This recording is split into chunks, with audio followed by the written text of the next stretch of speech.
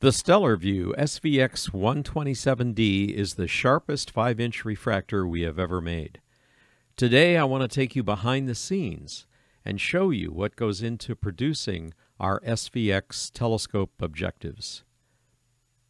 Our story begins in our shop after the lenses are ground and polished. This preliminary work isn't particularly special, any optical shop can machine polish lenses. What makes a noticeable difference is the hand figuring we do right here in our figuring and metrology lab. It takes several months to reduce the aberrations we see in machine polished optics by hand figuring the glass day after day, week after week. First, we assemble the objective and we map the optical wavefront using the Zygo interferometer we identify the most serious aberration first. The objective is then disassembled so we can hand figure the glass.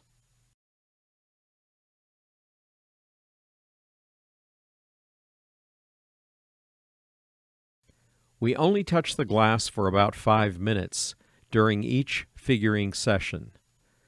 We let the glass cool overnight the next day we clean and then we reassemble the objective assembly. We then align all of the elements and once we've aligned it, we map the optical wavefront again to see what needs to be addressed next. Each objective goes through this improvement process over and over again for weeks as we slowly and meticulously minimize aberrations. The difference between a machine polished and a hand figured objective is often quite obvious in actual practical use. We use a Zygo Verifier phase shifting laser interferometer for optical testing.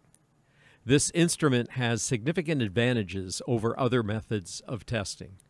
The Zygo delivers fast, reliable, and quantifiable measurements even in the presence of vibration and air turbulence. With each push of the button, the optic is tested at full aperture 100 times in a row. This is the most accurate method of testing in our production environment. Since the entire production process may take as long as a year, we operate one year in advance. So most of our telescopes can be shipped about one week after they've been ordered. The Zygo interferometer uses a helium neon laser, so it tests in red light. When we're reducing aberrations that impact performance, it really doesn't matter what color is used, since these defects are seen in all colors.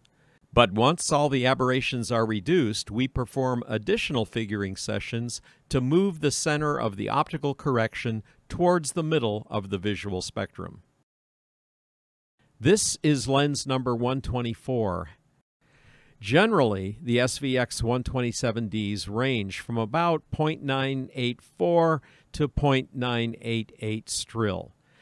In order to take a qualitative look at how this lens performs in three colors, we're placing this lens on our double pass autocollimator equipped with a precision glass 150 line Ronchi grating, a 120th wave Zerodur optical flat, and we're measuring using three Thorlabs LEDs.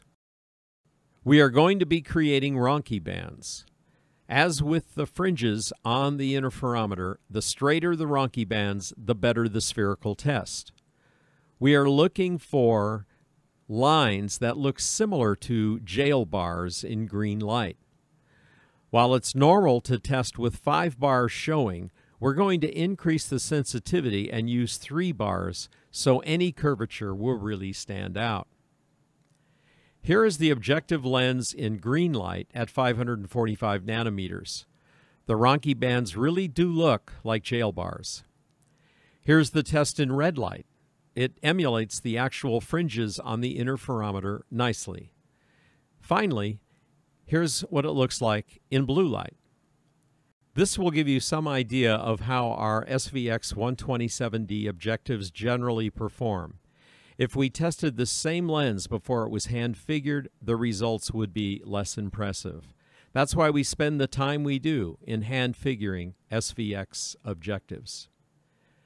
Dennis di Cicco, a senior editor for Sky and Telescope magazine, reviewed the SVX 127D and he gave it the highest marks. Under the heading Things We Liked, he wrote Excellent optical performance, excellent mechanical construction, noteworthy rotating focuser.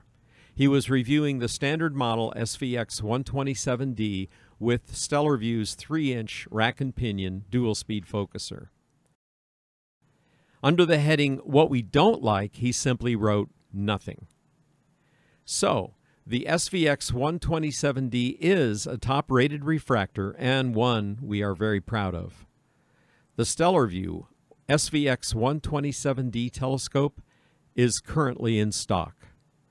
Thanks for watching.